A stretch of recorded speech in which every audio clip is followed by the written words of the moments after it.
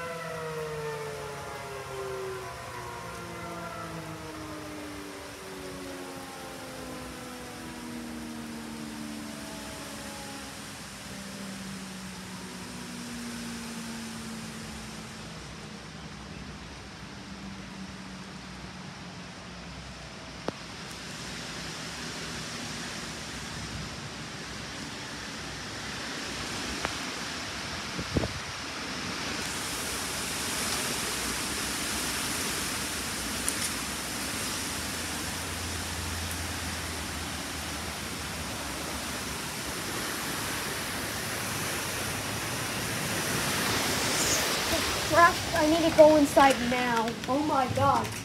Holy freaking crap! Yeah, look at that. Holy. Glad I glad I recorded that. Goodness, and saved up space. Yeah, your mom's asking how we're doing.